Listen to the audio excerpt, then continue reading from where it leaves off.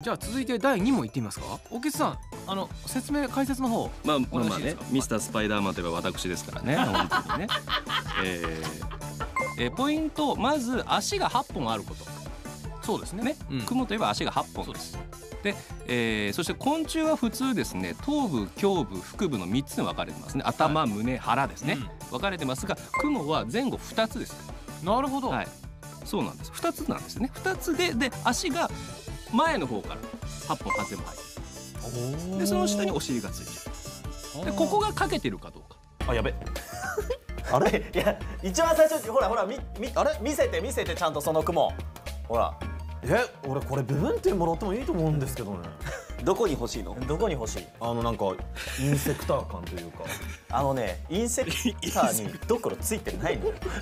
いやななんかこんな遊戯王カードなかったっすか？いやいや遊戯王カードじゃねえかそれは。でもなんかドクロの形に見える雲みたいな模様ドクロマークに見える雲っていうのはいるみたいだけついてるどねでもそれ足6本しかないよね。なんかなんかいた気がする。そうそうそう。顔が顔みたいな模様。がうん。そうそうそうそう。なかなか雲に近いそうそうほらほらほら見て見て。ほらほらえこ逆さだったら出てきたよえ